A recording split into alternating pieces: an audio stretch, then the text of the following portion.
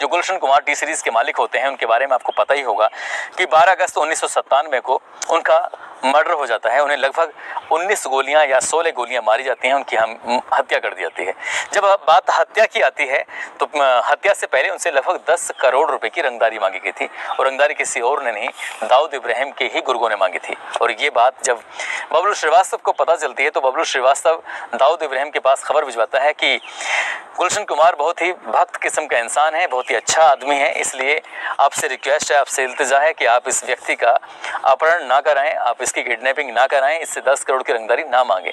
दाऊद इब्राहिम के लोग, दाऊद इब्राहिम इस बात को मान जाता है। बबुल श्रीवास्तव जो कहता है, वो कहते हैं, ठीक है, अगर तुम कहते हो तो हम तुम्हारी बात मान लेते हैं। लेकिन दाऊद इब्राहिम तो मान जाता है लेकिन दाऊद इब्राहिम के साथ का, काम करने वाला मिर्ज़ा दिलसाद बेग जो कि नेपाल का सांसद होता है वो आखिरकार इस बात को मानता नहीं है। और यहाँ गुलशन कुमार के कुछ लोगों के साथ मुंबई के ही लोग थे। उनके साथ मिलकर गुलशन कुमार की गोली मरवाकर हत्या कर देता है। इस मामले की जब जाँच पड़ताल होती है, पता चलता है तो बहुत सारे लोगों के नाम, लगभग छब्बीस लोगों के नाम सामने आते हैं, जिसमें नाम होता है दिलशाद बेग का भी नाम होता है। लेकिन ये बात जब बबलू श्रीवास्तव को पता चलती है तो बबलू श्रीवास्तव अपने लोगों से मिलकर इस मिर्ज़ा दिलशाद बेग की हत्या करा देता है और गुलशन कुमार की हत्या का वो हाथों हाथ बदला भी ले लेता है।